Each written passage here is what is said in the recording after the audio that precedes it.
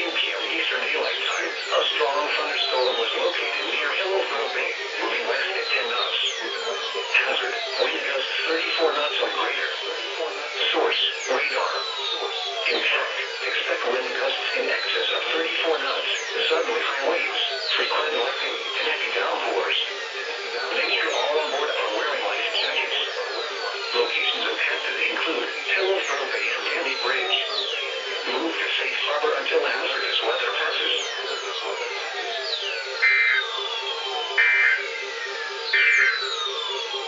Now for the official National Weather.